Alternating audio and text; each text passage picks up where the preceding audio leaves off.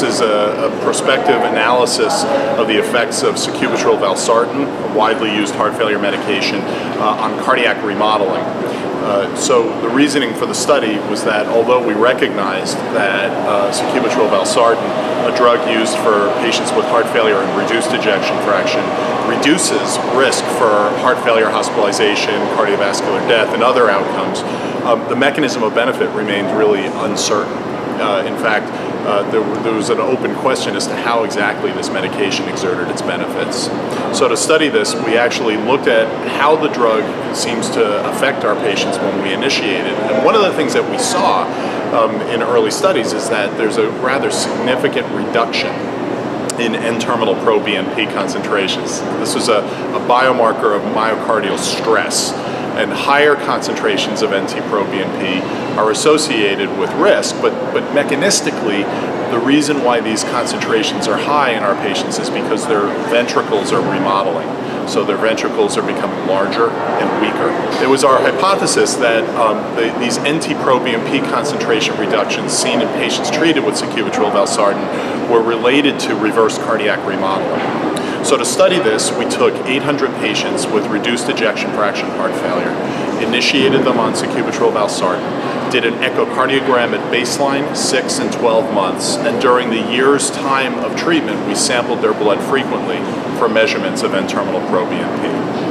One other very important thing that we did in this study was we included patients that had not previously been studied in the Paradigm HF trial, including people with new onset heart failure, people not taking an ACE inhibitor or angiotensin receptor blocker before starting sacubitril valsartan, people with low concentrations of N-terminal proBNP, as well as people who could not be titrated up to the target doses. So the idea was to try to fill in some mechanistic understanding and also fill in data on patients where data did not yet exist.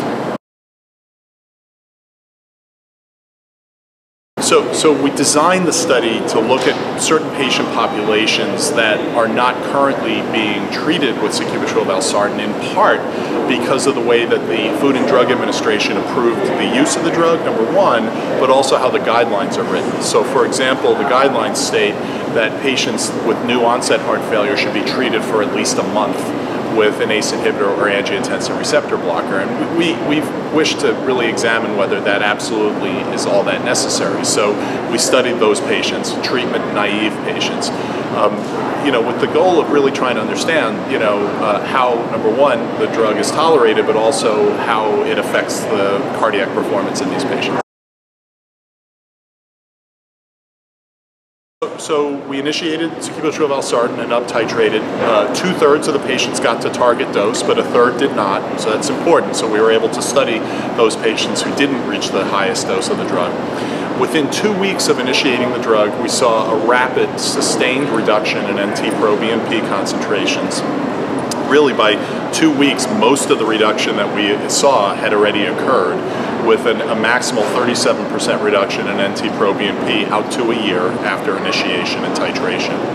From baseline to six months, we observed a significant correlation between the reduction in NT-proBNP and changes in cardiac remodeling parameters. And from six to 12, so across the whole year, that relationship became even stronger. So, given the fact that NT-proBNP went down and there was this very strong relationship with cardiac remodeling, with the reduction in NT-proBNP on the echocardiograms, we saw from baseline to six months an absolute 5% increase in ejection fraction, and by a year there was an absolute 9.5% increase in ejection fraction. Along with this, there was reverse cardiac remodeling with reduction in left ventricular volumes, reductions in left atrial volume, and improvement in diastolic function. So these data really provide useful information about how the drug exerts its benefits. These reductions in NT-proBNP are essentially reflecting the reverse cardiac remodeling that comes along with the drug. Importantly, the subgroups of interest, patients that were new onset heart failure, patients that had lower concentrations of natriuretic peptides before treatment, as well as those not reaching the highest doses of the drug, all had similar, if not greater, reverse remodeling really implying that patients where there was some degree of uncertainty about how the drug works um, benefit just as much. And that I think is really useful for clinicians to understand.